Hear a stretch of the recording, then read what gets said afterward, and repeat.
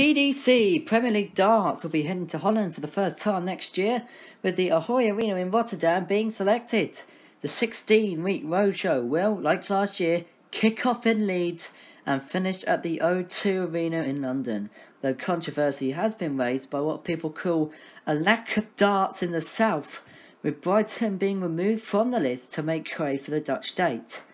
This was announced on the same day as the new PDC calendar, with tournaments being practically the same as this year, except from the fact that a development tour weekend will be held in Germany, which should aid young darters' Tungsten education, whilst also expanding Rod Harrington's darting system.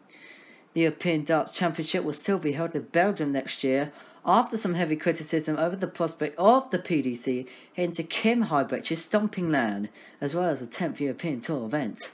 with Sky Sports being guaranteed at least six of the big televised majors, including the World Championships. ITV4's contract runs out after the Players' Championship in Minehead, but do look destined to extend their contract in some way.